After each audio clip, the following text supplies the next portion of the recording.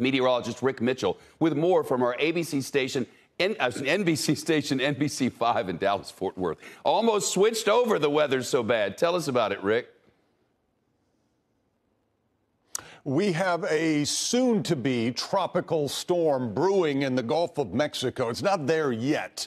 All right, the plane flew in there today, found the conditions that are favorable for development. Probably by this time tomorrow, we will have tropical storm uh, Claudette. Right now, the center is kind of out in the open. The main convection, the main thunderstorm area is to the east of it, but that is going to organize as we go through tonight on into tomorrow. By 1 o'clock tomorrow, it will likely be Tropical Storm Claudette on a northward track, moving to the north at 9 miles per hour right now.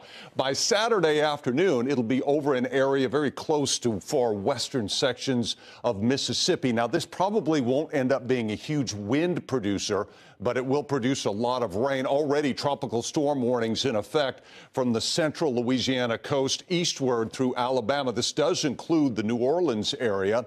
Uh, storm surge about two to three feet, so it's not horrendous, but some areas that are typically dry will probably experience some flooding. The rainfall from this system uh, is going to be very heavy. Uh, you see this red swath that represents about four to eight inches of rain and it goes through Tuesday, but the majority of that is going to fall uh, from Friday on into uh, Sunday morning. In addition to that, we have some severe weather in the upper Midwest. This is an enhanced area for severe weather from near Minneapolis down to Chicago. Hail, wind, maybe a tornado or two, and then the western U.S. is broiling. Palm Springs tied their all time record high temperature today to 123. Advisories all over the place.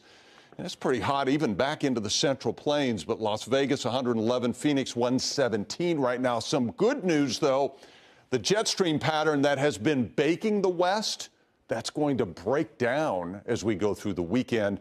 So hopefully they will see some relief. Shepard? Mitchell, thank you. Shepard Smith here. Thanks for watching CNBC on YouTube.